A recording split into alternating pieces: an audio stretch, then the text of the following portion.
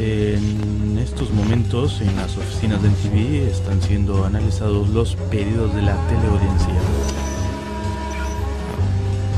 Eh, se viven momentos de tensión.